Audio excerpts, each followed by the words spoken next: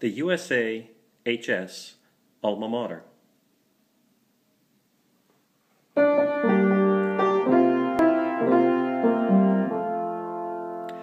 Here's to U.S. education, to the lessons that we learned. Here's to times when grades were given based on what we really earned. Here's to memories when the arts were more than just a passing thought, and when teachers had authority to choose what should be taught.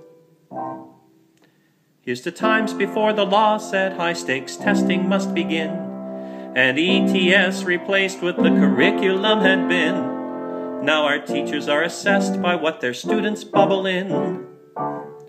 What they know means less than how they guess. You're our future, USA, HS.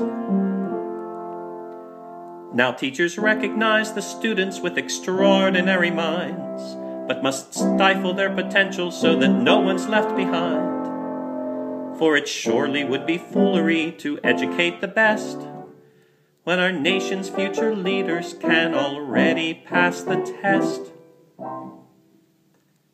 Let our state's elected leaders tell our teachers what to preach, as if winning an election made them qualified to teach. Set the standards at the State House with the teachers out of reach and keep our country's kids behind the rest.